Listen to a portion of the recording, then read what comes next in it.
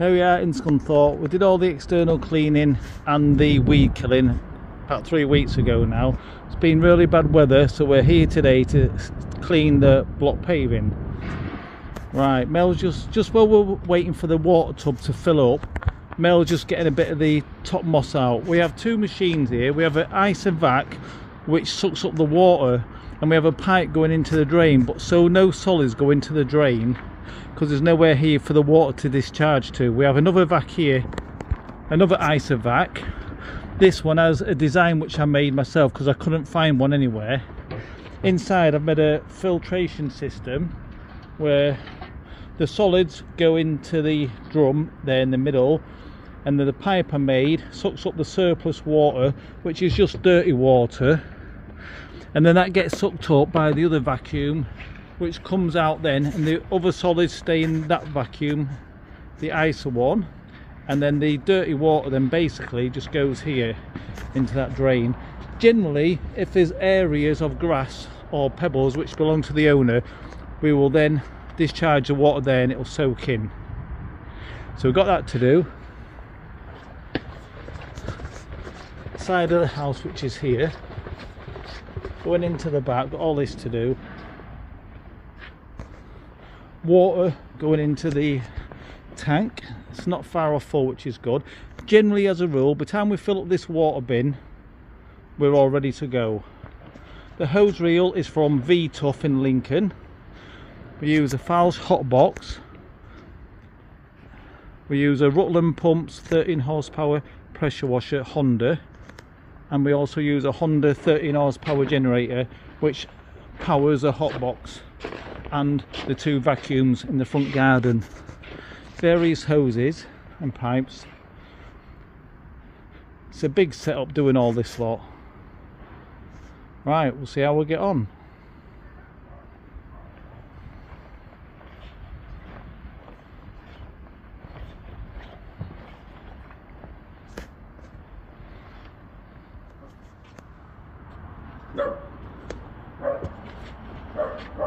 nearly cleaned the front it's just swelling down but we have run out of water. The water pressure is so slow. It's starting to look nice though but it's just a shame now because it's taking about half an hour to 40 minutes to fill up the water but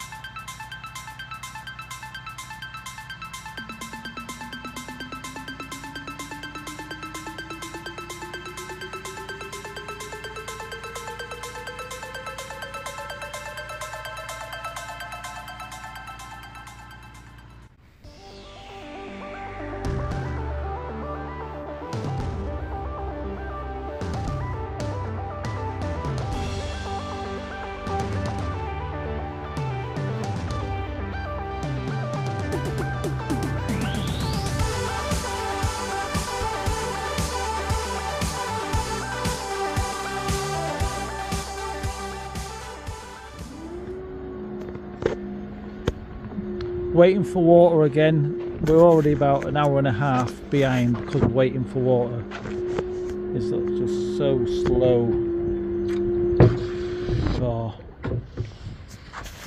Because this machine uses a lot of water. It's 15 litres a minute.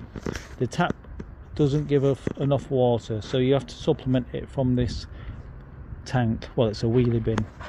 You got two pipes here the clear pipes what suck up the water and circulate it round to keep the motor and everything cool. The other line goes to the hot box. The water goes in the hot box heats up and comes out to the lance but that's how that works. The fuel in these machines you use loads. The Falsch hot box if we're doing a drive you can easily spend 120 a day probably in fuel just on that one machine to get to work to the heat 150 degrees. That pressure, um, the generator probably uses maybe on a full day 10 to 15 pound, probably nearer 15. Same as a pressure washer, about 15 quid. So you're probably, I don't know, doing it this way, easily 150 pound in fuel upwards. Two vacs, I keep cleaning the filter out. So just waiting for water. I think we're going to be about another half an hour waiting for water.